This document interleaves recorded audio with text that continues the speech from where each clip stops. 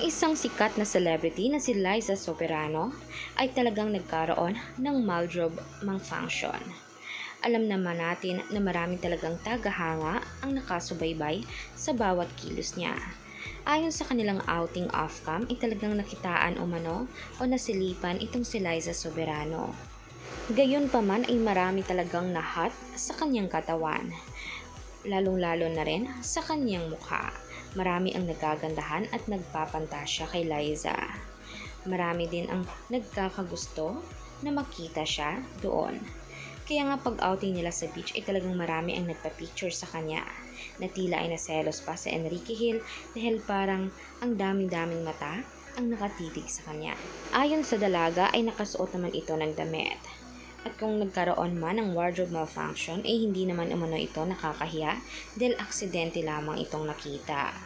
Masaya siya sa pagsasayaw niya at talagang kung ano ang buhay na meron sila ni Enrique ngayon. Nag-outing na lamang at nagbabakasyon kung saan siya ay magiging masaya at si Enrique.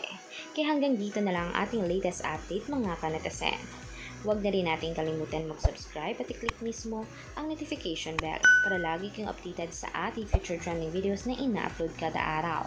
Maraming salamat mga kanatasen!